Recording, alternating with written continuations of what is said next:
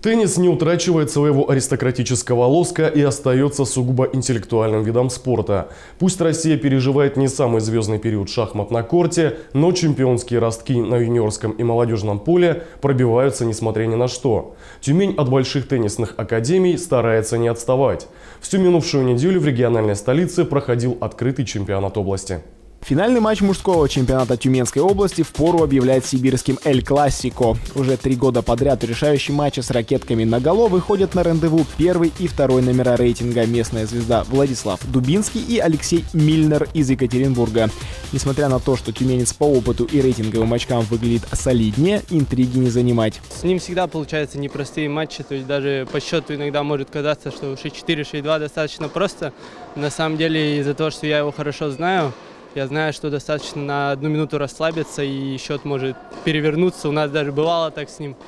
4-0 вел, потом 5 минут и 4-4. Первый сет показал, что соперники предпочитают действовать на схожих скоростях, но Дубинский во многих компонентах оказался острее и хитрее соперника. Стартовая партия ушла в его копилку 6-4. Хотя для тюменца, в прошлом году взявшего серебро Кубка России, выход на домашний корт дался сложно.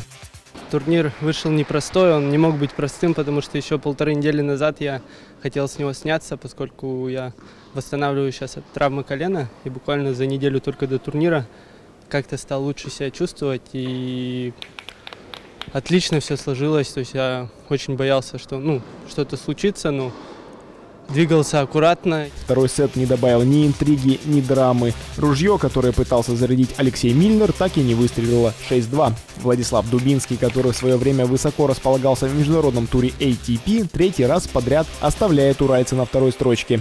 Теннис – игра джентльменов, поэтому после матча следует не склоки, а дружеское фото. Я очень доволен своим выступлением, да, то есть э, до турнира э, и точно я не мог знать, дойду ли до финала или нет. Э, играл э, в основном с молодыми ребятами, которые подают надежды, выступают на международных турнирах. С Ладом мы уже третий раз подряд здесь в Тюмени разыгрываем финалы. На других турнирах также разыгрывали. То есть и у нас всегда очень такая дружеская, честная игра.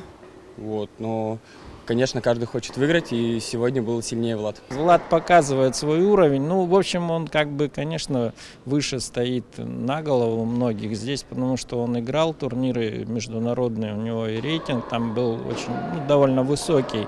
Да, поэтому он отличается немножко. Я думаю, ему надо бы еще в профессионалах поиграть, потому что рановато он карьеру свою решил закончить. Владислав Дубинский и правда решил повесить международную ракетку на гвоздь, но после серии всероссийских побед решил вернуться вернулся в тур ATP. Правда, подготовка к такому весомому уровню чуть затянулась.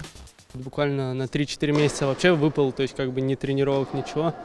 Вот, а сейчас вот буквально месяца полтора назад возобновил тренировки, и как бы, чтобы вернуться в Европу, надо хоть какую-то форму физическую набрать. Ну, дай бог, вроде восстановление идет хорошо, и полтора-два месяца я буду в форме и смогу уже свои планы воплотить.